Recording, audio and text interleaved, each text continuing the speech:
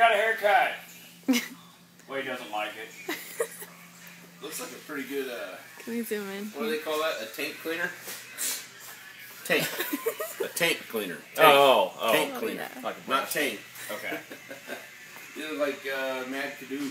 And you shaved your upper lip too, which is I really did. silly. Oh, I'm not getting stuck stuck in It looked like somebody tried scalping him It's with like a blindfold, but weird though. It's gonna be fine. Okay.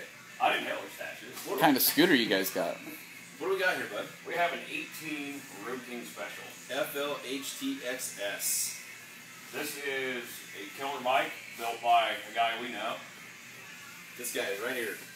So we always get asked why we don't chop some of the cooler bikes. Well, here we go. We're gonna chop one of the cooler bikes. This Th- thing. Before we chop it, let's talk about one thing.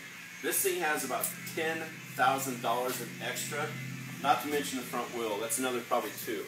So you get about twelve thousand in extra. So after we get to the chop price, you could actually buy this bike for about fifteen plus the extras. It's incredible.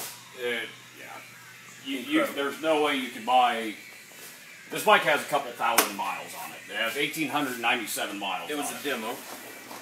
So we'll start right up front. Oh.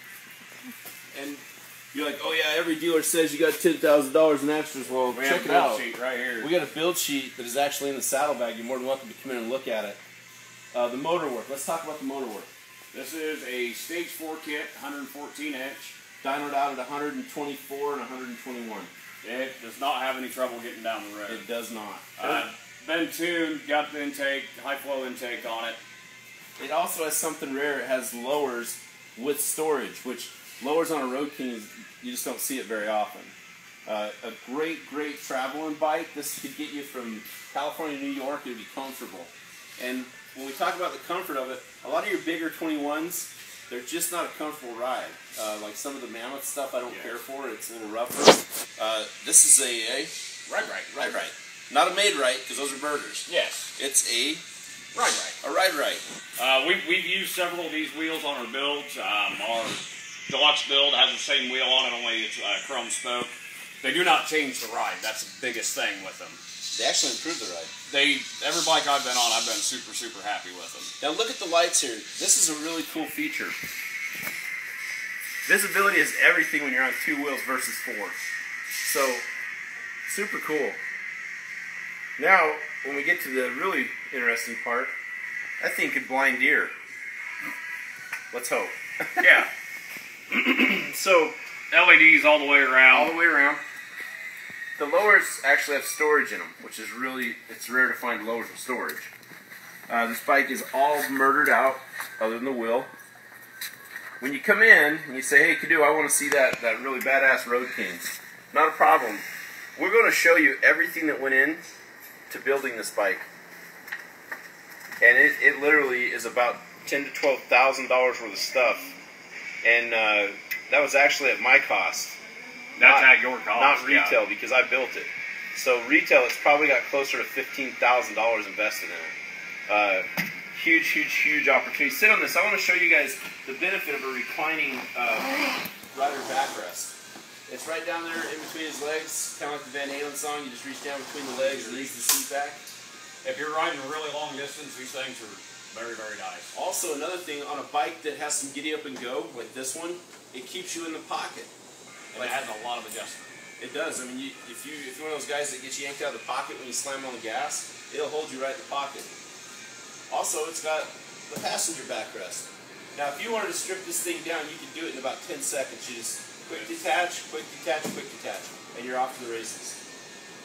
Very cool bike. We've had this bike for a long time, so we're going to discount it to what today? You want a discount it for it, I do. I really don't want to, but I don't like sitting on it. I'm not married to it. I was gonna say it's like 26 and a half. Okay, how about this? How about we go 25.9 today? 27. You say 27? You say 26? What? 26 and a half.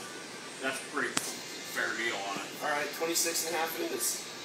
Uh, come down and see it. It uh, it's it's a pretty special bike. We've got a lot of people come in and they got the champagne taste on the beer budget and just couldn't get it done. So come on down. uh, yeah, I mean this this is uh, probably Probably my favorite bike on the place next to a CVO. That's a forty-two thousand dollar bike. Oh, and it has exhaust stuff.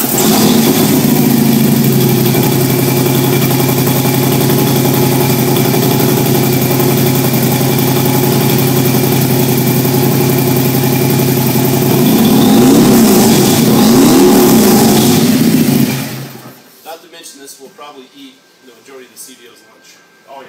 Oh, I know it will. This this this will be my bike in a race. Unless they have motor work against it. Unless they have motor work against it. Yeah. This bike is literally, if, if you're a true enthusiast and you ride, this bike is yours. This is, this is a legit bike. Not a beginner's bike. No, I wouldn't sell it to you if you're not very good on a bike. And being special, it has your stock extended bags too, Yep. which I love. I'm looking for a set for my bike right now. so this will be tucked in one of the saddlebags. Just come in and take a peek. I'm gonna leave it sit right here because I know someone's gonna come down and look at it today. We'll see All you. right. We're out of here. Thanks, guys.